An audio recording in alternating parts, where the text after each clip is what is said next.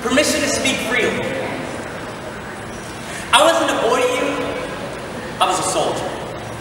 And when you asked me to, I stood straight, shoulders back. When you asked, I would attack. Kill the fact that you were my father.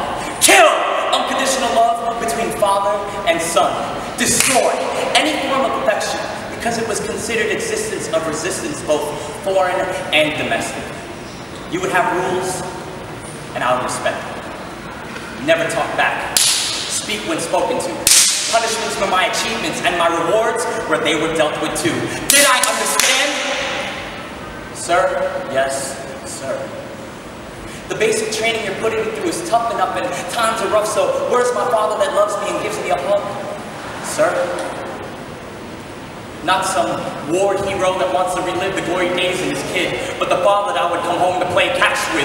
You see, all I wanted was for you to accept me as a regular, average son. So I joined ROTC to get your attention. You see, I thought if I did enough push-ups, then you would accept me as one. But no, it wasn't enough. You would thrust our relationship into military issues, and I would resist you. And when I would miss you, you would tell me that you were sending me messages telling me that I was the enemy.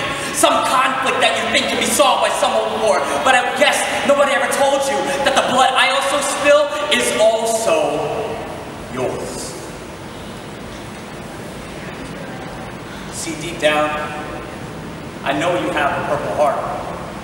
So don't save the US, but save us before you tear us apart. Let's bury our differences in a 21 gun salute and accept the Congressional Medal of Honor of being my father.